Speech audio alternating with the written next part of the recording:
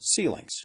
Vaulted ceilings and wood ceilings are other optional design elements that can add a unique look to your cellar. Wrought iron artwork and decorations are perfect finishing touches.